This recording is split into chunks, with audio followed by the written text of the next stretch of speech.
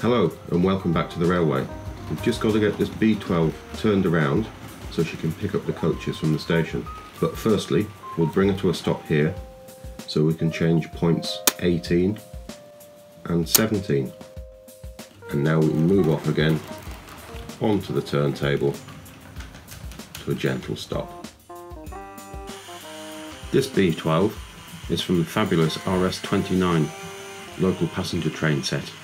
This set was later to become known as the Holiday Express, which I think is a far better name, and the picture on the box really is terrific. This set came with an Over of Super 4 track.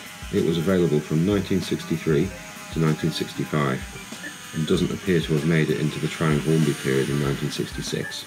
And there she is, all turned around now. Now we'll just let her go off and collect the coaches from the station and we'll close points number 18.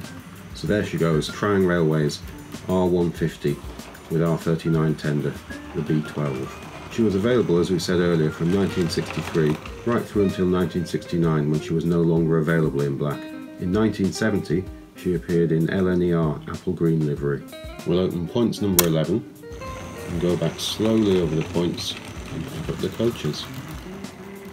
I think we can safely say we've got those. In the set there was just the two coaches, R626 and R627, the composite and the brake.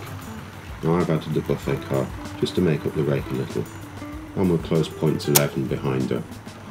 Whilst these crimson and cream composite and brake coaches were available in the RS29 set, they were also available separately along with the buffet car, which was R628. They had a relatively short life in the range from 1963 to 1965. The composite and brake also featured in another set, the RS47, the Monster Double. By the early 60s, sales of the Black Princess models were beginning to dwindle. Tri-ang's answer was the B12, a business-like looking model. It had no valve gear on the outside, which meant it was much cheaper to produce. Coming past the station now, up to points number 9, the double crossover. And over she comes, all of those coaches behaving perfectly. And we'll just close those points behind her. And around she comes onto this great long shop just watch her as she comes into this bend up to the points. The swing on the front end of the body is a huge. Around she comes. And we'll close points number four. Yeah, that nose swing as she comes around the curve is quite something. It did cause a few problems when I tested on it, working out what I was going to do with her on the track for this video. And there she goes, up the incline, and as usual we'll bring her to a stop and we'll have a closer look at her. Starting at the front here, we can see we've got the standard Tri-ang decoupling and we've got the metal buffers and we've got quite a bit of detail where the buffer shank meets the buffer beam. Not much detail on the buffer beam apart from this hook here. We can see the smoke box door has quite a bit of detail moulded into it. There's no number there. And this is where the chassis comes to the bodywork. We'll talk about how that secures to the body in a moment. It's got a moulded handrail and some pipe work along the sides here. There's a little wheel there, I don't know what that is, some sort of valve perhaps. And these lovely steps at either end here, and these are quite often missing when you find these. And the number here is applied with a transfer to the side of the cabin. It's quite fine, just a little bit beginning to come away there. This was the first model in Tri-ang's range to have fluted coupling rods right from the very beginning of its time. It also had see-through wheels from the beginning and it had steel tyres on these. We can just see here the magnet here which gave the Magnadhesion to the steel tyre which helps it stick to the track. We'll have a look at that in a second. And also we have this space here we can clearly see straight underneath the boiler. Moving on to the cab here, we can see we've got handrails moulded in here on the edges. We've got unglazed windows here and here and one in the front. We've got a brass whistle and two brass safety valves. I'm not sure what these items are here alongside of the boiler and we do have a hatch moulded into the roof. Every time I see this tender, this coal makes me smile.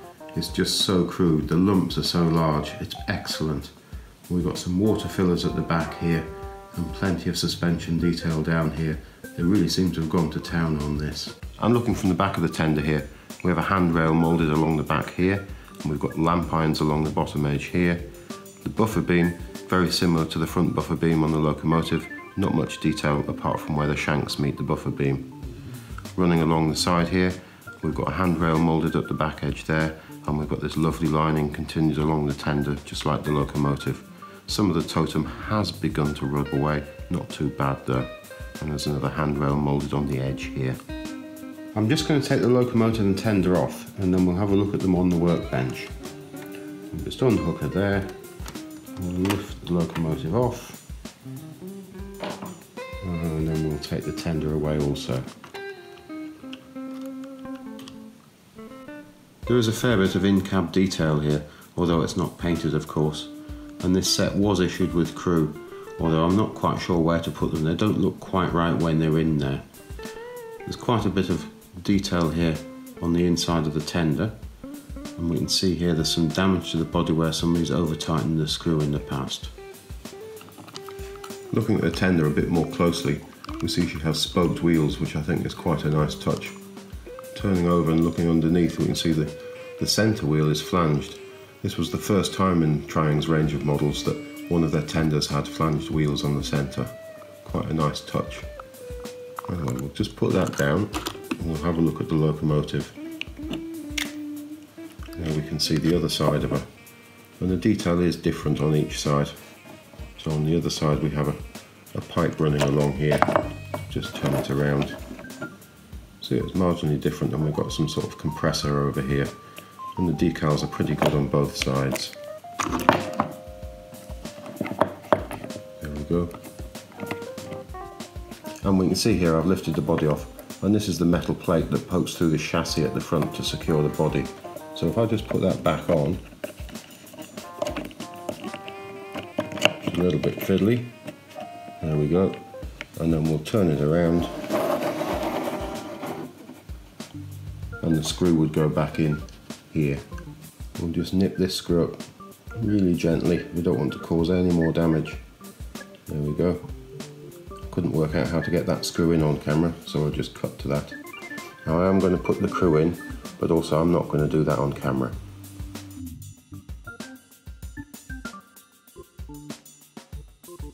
And we can see I've got the crew fitted there. You can just turn her around. It's a bit of a tight fit in there. I'm sure they'll be fine. But as we come around, we can see that back drive wheel with the magnet just situated behind it. We'll just point it out, just there. So we're going to have a look at Magnadhesion now. This system was first developed for the TT range. It was correctly pronounced as Magnadhesion, and it found its way onto the 00 scale models in around 1962. Here is an old 060 chassis. This has Magnadhesion fitted. If I lift up the chassis, the track will come with it. There we go. And you can feel it sticking to the track and listen to it click in. So it's quite a strong pull. So the magnet's situated between the drive wheels. If I just take out this screw and we'll take off this connecting rod.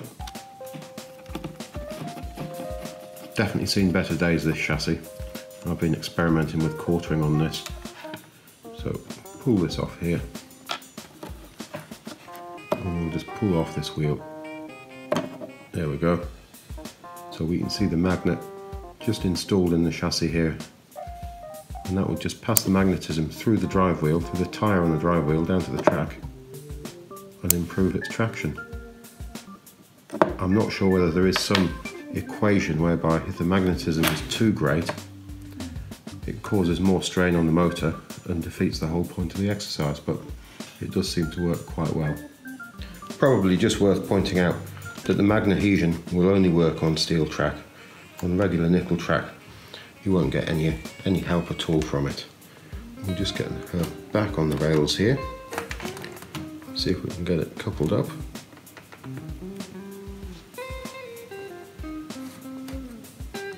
Up the tender.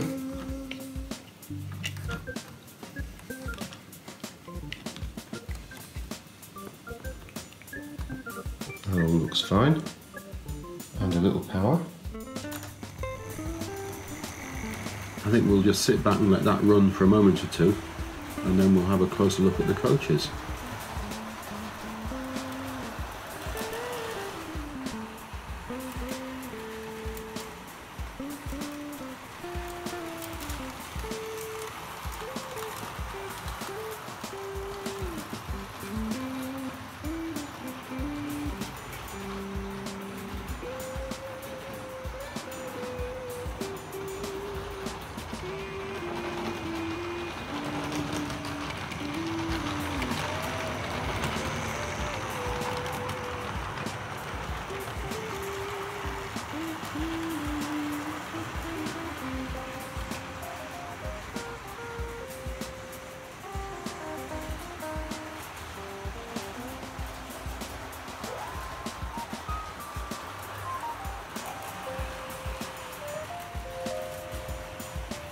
Down the incline she comes. And we'll bring her along the bottom here to a gentle stop. And then we'll have a quick look at the coaches. And we're going to do this handheld today. The crews seem to be perfectly in control here. So I think we'll move on and have a look at the composite coach. And this had a catalogue number of R626. It has a running number of 15865 and we can see through the windows there's great detail there and we've got the handrail printed on the glazing. It really is a good effect. Moving on down towards the, the buffet car here and we're going to have a look at the, the detailing between the coaches. There's the corridor connections there. This is the same on most of Triang's Mark 1 style coaches. They share the same chassis. And here we have the buffet coach running number 1825 with a catalogue number of 628 again the tables seem to be set for lunch which is quite nice. The windows are wearing a little bit. You can see the paint rubbing off a little there. Looking from above here the detailing on the roof is quite extensive.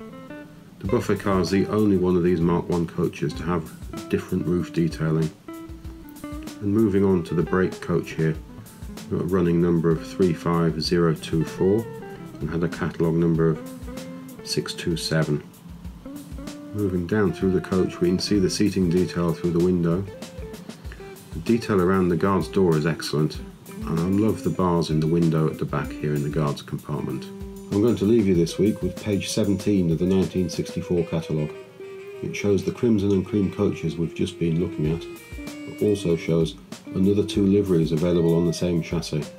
If you look back again next week, we'll have a look at something from a similar period. Goodbye now, and thanks again for watching.